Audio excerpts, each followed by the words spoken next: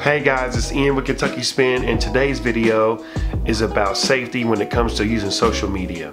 And so this is gonna cover all social media and I'm gonna give you about six tips on what to do to protect yourself. Let's dive right in. One thing that could be helpful is be careful adding people you don't know. If you're anything like me, you get a lot of people that add you or suggested friends, things like that, and people just pop up and you don't maybe don't know them. Now they could be a friend of a friend, and if that's the case, that's safe. There's no, no harm, no foul. But if it's somebody who you don't know, you know, just kind of be cautious and be aware that you don't know this person. And then it's up to you whether you add them or not. But just kind of be aware of, of the person that you're adding. Um, and sometimes it's it's not a good idea because sometimes it's some kind of scam um, and the person is not legit who they say they are. Two, I would say be aware of what you post. So sometimes, you know, you could post like a picture of your car, you just washed it, and you forget that the license plate is showing, um, or the VIN number, or something that you wouldn't really want shown or known to the public. Or, you know, you just got your ID made and you're showing off your picture and you're trying to cover up your information, holding it to the camera, but you accidentally let something slip and some information is showing on there. Um, taking a picture of your new house and it has the address and everybody knows where you live now. Um, you may or may not care about that, but that's just something to be aware of, being aware of what you post. Three, uh, my third tip I'll say, be careful with strong opinions um, because uh, depending on what it's about, right? You could get a lot of backlash and people drop hateful comments or mean comments towards you because um, they don't they don't agree with whatever you posted. So just keep that in mind. Not, not trying to discourage you from posting whatever you want to post, but just be aware that if you post something that's maybe polarizing um, or is just a strong opinion, you could get people who, you know, don't like that and that are your friends with and that can comment on it and you could you could be a victim of cyberbullying that way. So if you post a strong comment or a strong opinion, just be sure that you're ready to defend it or, you know, just delete comments or you could you could even turn comments off to protect yourself from any hateful comments coming in that you don't want to have to deal with. So you can still get your thoughts out there and get that release, but you can also turn comments off. Something to consider. Four, I'd say be aware of fake accounts. Uh, this kind of ties to one of my earlier points, but you want to be careful for uh, people that are your friends that you should already be friends with. So let's say you have a friend named Tom and the same guy with the same profile image named Tom adds you on a social media. That's kind of weird, right? You need to message your friend Tom and see if he's aware that there's some other account using his name. And um, sometimes this happens. Sometimes people get locked out of their account. They forget their password. They just create a new one. No big deal. Other times though, robots or people overseas or whatever can take an account, mimic it, steal pictures from somebody's account and portray the same name and act like they are that person. Um, so that's something that I would consider as well. Another thing with that is I, ha I have a story. Uh, somebody added me and claimed to be, I think, my mother and was talking very weird. I kind of knew instantly it wasn't my mother, right? Because I know my mom. But just to be sure, uh, I had some questions that I asked that only my mother would know. So I said, you know, what, you, you know, I'm sorry if this is weird, but I need to make sure this is you. What's your maiden name? What is your son's name? This is something easily that you should know if you are really my mother. And sure enough, that person blocked me almost immediately. So that person was trying to do some sort of scam or some sort of behavior um, using my mom's account. So that's a good example of how somebody can mimic looking like somebody else. So just be careful of that kind of thing when you see it. You know, sometimes people will look um, enhanced or just look like I don't know, like a celebrity or something like that, and they add you and they start messaging you, they'll say short phrases like hi. Typically they'll mess like, so if you add them, they'll message you instantly, and then it'll be like hi.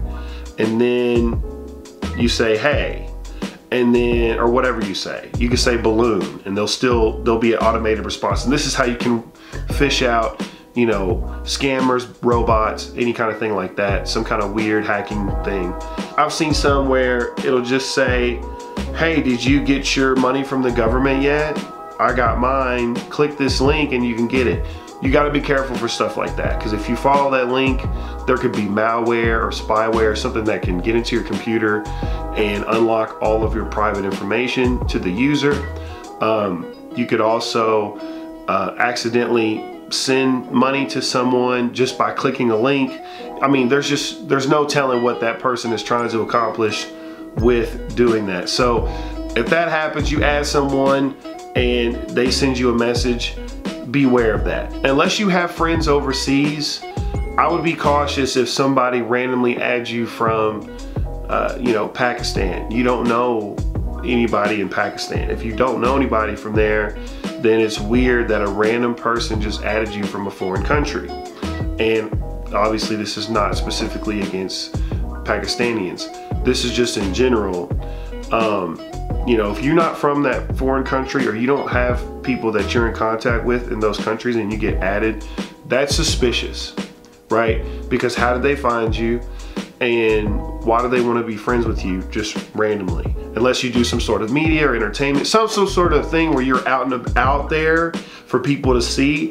For someone to just randomly add you, that's a little strange. I would just be cautious, just move forward cautiously. You can still be their friend, you can still add them, you can still interact with them if you choose to.